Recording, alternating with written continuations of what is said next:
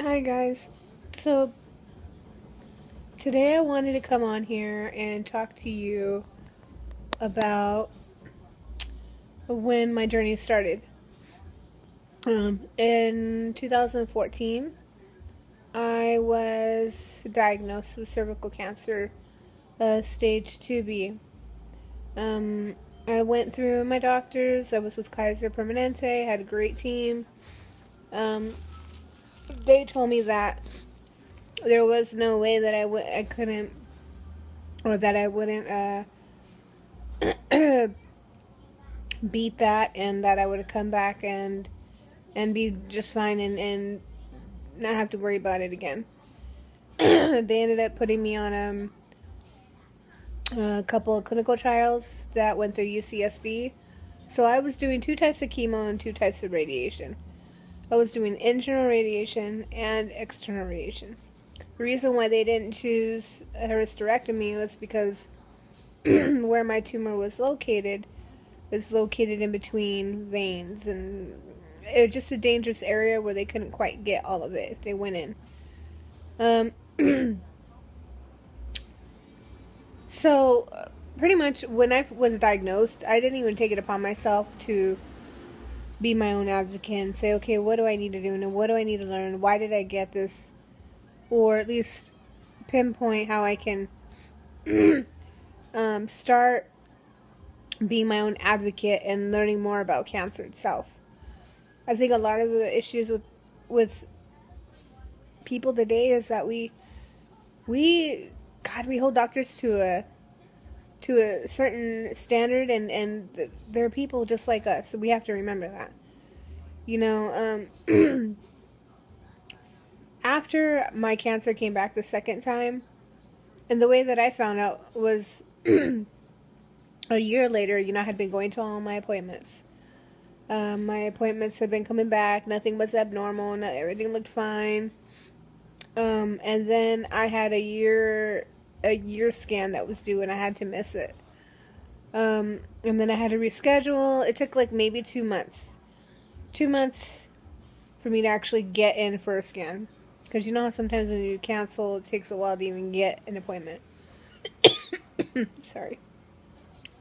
So, meanwhile, you know, I'm going in, I'm going to work, and and I start to notice this you know my my chest is getting heavier. I can't breathe the same anymore. Um, it took me a while to come back from when I was when I had lost a, my breath.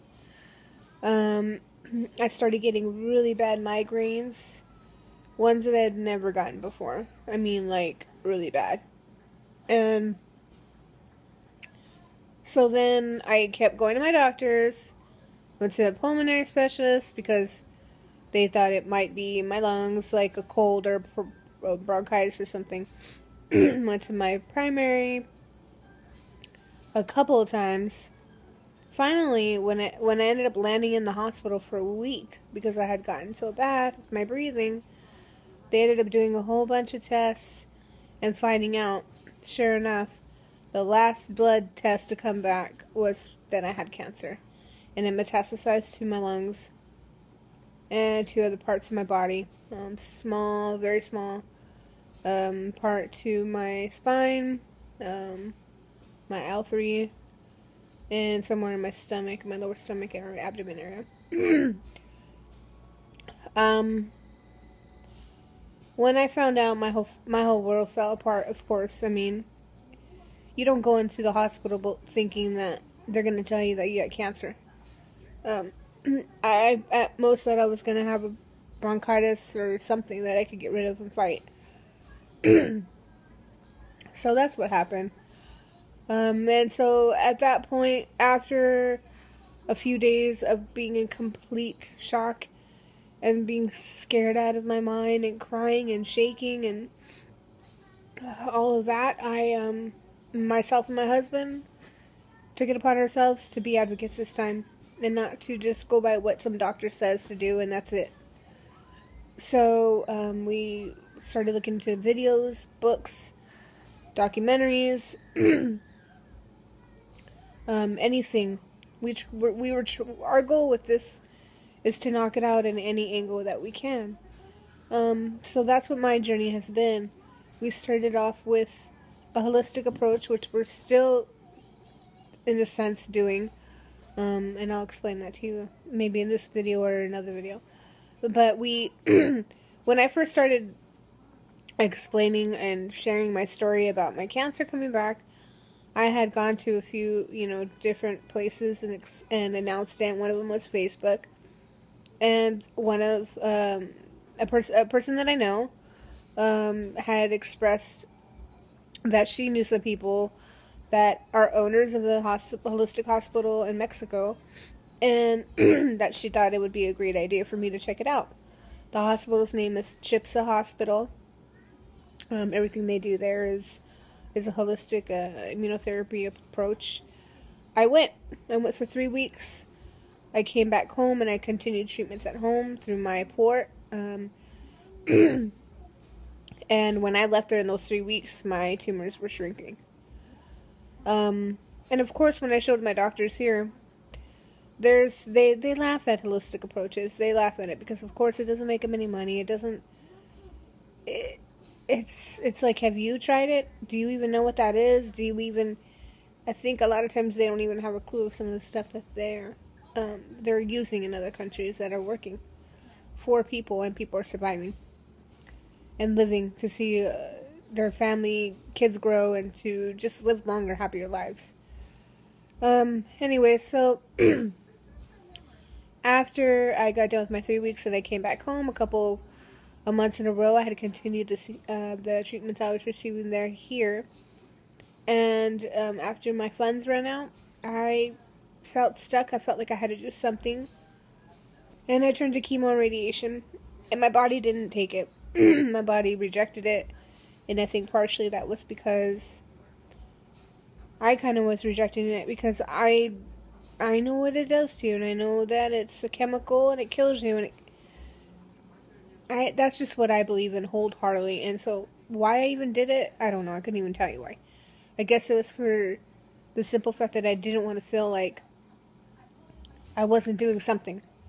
You know, alongside doing the treatments at that hospital, they have you try they have you start on the Gerson diet, which is whole foods, organic vegetables, fruits. Um, and I did that for a few months, and I'm still kind of doing it. Um, um, I still don't eat meat though. I try to stay low on my sugar intake um, because cancer loves sugar. Um, I don't eat eggs very often, if any at all, any meats or anything like I just said. Um, so I'm still sticking to that. Enemas was part of that. Um, enemas was part of detoxifying your liver and getting all the bad stuff out of your body that's been in your body for years. Um, so I did all that for a little bit. now I'm just kind of just trying to eat what I can because it's gotten to the point where I'm not eating well. And, um, you know, my body's telling me that it's time to get back on the treatments. So that is that is where we're at right now. Um, I'm gonna share more with you um, as the days and the weeks go about you know what treatments are offered there, what treatments I'm gonna be doing again, um, and um, and how they've helped me.